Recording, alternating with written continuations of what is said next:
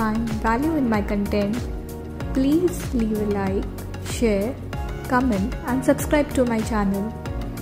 Thanks for watching.